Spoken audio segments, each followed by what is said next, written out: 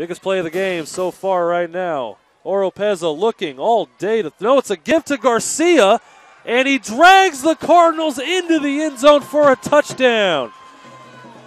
What a play by Garcia.